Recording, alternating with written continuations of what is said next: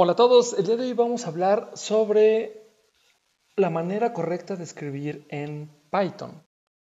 Sí, como ven, Python depende de la indentación, pero también de otro tipo de eh, razones o de formas en las cuales es correcto escribir código en Python. A todo este conjunto de condiciones o de estilos o guía de estilos le llamamos PEP8.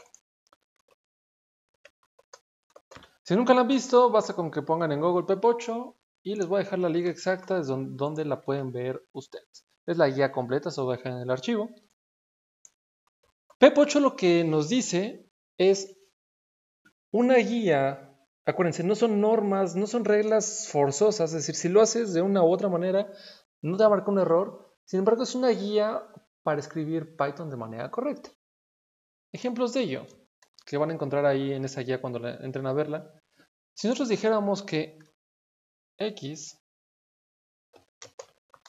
es igual a hola, y después decimos que y es igual a hola, y los imprimimos, print x y print y, vamos a ver que ambos nos da el mismo resultado. Es decir, esta sentencia es igual de correcta que la de abajo, pero ¿cuál se ve mejor? Entonces, PEP8 nos va a dar toda una serie de guías, de pasos en los cuales nosotros podemos hacer nuestro trabajo en Python un poco más vistoso y que todos los que nos dedicamos a esto deberíamos seguir. Acuérdense, no son reglas escritas en papel, si lo hacen de una u otra manera no van a marcar ningún error, pero es bueno que las conozcan. Déjenme abrir la, página para que veamos qué es lo que van a ver ustedes. Van a ver que esta es la página, es PEP8 y si ven es una guía de estilos para hacer programas en Python. Aquí van a ver absolutamente todo lo que es correcto y lo que es incorrecto. Acuérdense, aquí no va a marcar errores, únicamente de acuerdo a las personas que lo hicieron, hicieron esta guía, está mal escrito. ¿Y quién hizo esta guía? Nada más y nada menos que el creador de Python, Guido von Rossum. Entonces, importante. Si algún día alguien le dice, oye, no está siguiendo lo que marca PEP8, se refieren a esto. Y acuérdense, no es algo escrito en piedra, son recomendaciones que deberíamos seguir. Muchas yo las encuentro muy útiles, por ejemplo, esto se ve mucho mejor que esto. Sin embargo, hay otras. Una en específico a mí nunca me ha gustado que dice que una línea de código no puede tener más de 79 caracteres en la misma línea. Hagan de cuenta que ustedes quieren escribir.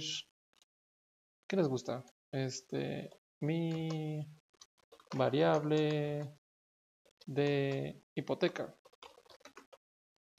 es igual a 10 y tu variable de hipoteca es igual a 20 Hagan de cuenta que ustedes tienen nombres muy largos de variables o tienen muchas variables o tienen que hacer un if y se pase los 79. Entonces mucha gente te va a decir, no, estás mal, te pasa 69, es un error. No es un error como tal, simplemente no estás siguiendo esa guía o ese código que se hizo, pero acuérdense, no está escrito en piedra. Entonces, si van a poner if, voy a copiarlo porque si son bastante largas. Es mayor que 10 decimos que and esta es menor que 15 entonces, si ven, aquí nos pasamos los 79 creo, no voy a contar, pero supongo que sí. Entonces alguien te diría, aquí estás mal, lo que tienes que hacer es pasarlo al siguiente y dar una indentación no está gustando algo aquí y decimos paz. ¿Qué no le está gustando aquí? ¿Algo no le está gustando aquí? And. Está pidiendo el carácter de calidad. Ah, eh, en algunas situaciones van a tener que poner eh, este carácter que es el alt92 o diagonal invertida para indicarle a Python que su código sigue en la siguiente línea.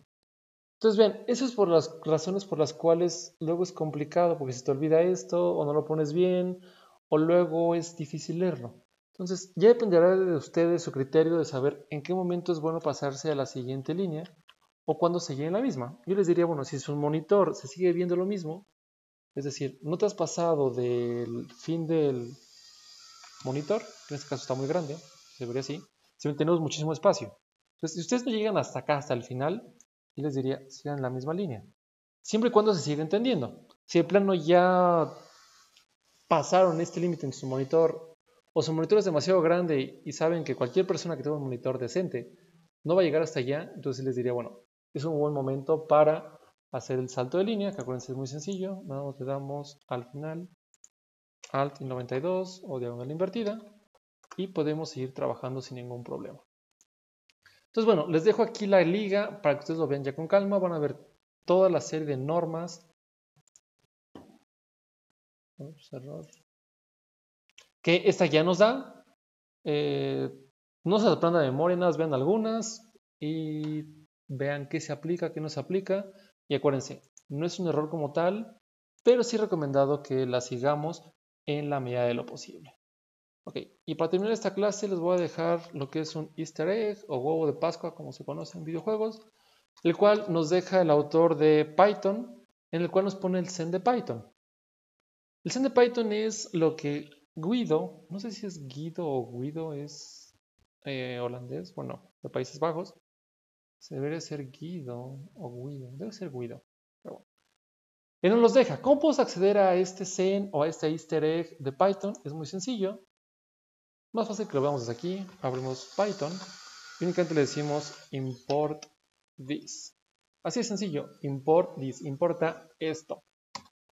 Y si ven, nos va a imprimir el zen de Python. Acá no fue Guido, fue Tim Peters, que es otro de los creadores de Python. Y nos da una serie de recomendaciones. Entonces, véanlas con calmas. La mejor que yo veo es lo hermoso es mejor que lo feo. Entonces también de ahí viene esta lógica de Python de crear PEP8 y darnos una serie de guías para escribir código bonito. Ok, hasta aquí dejo el video de hoy. Eh, si tienen curiosidad, ya saben, import this o entren a la página de PEP8. Entonces voy a poner aquí el import this. Pues lo corremos desde aquí. También aquí en Visual Studio nos aparece el send de Python. Ok, entonces hasta aquí les dejo el día de hoy. Espero les haya gustado este corto video y nos vemos en el siguiente video. Adiós.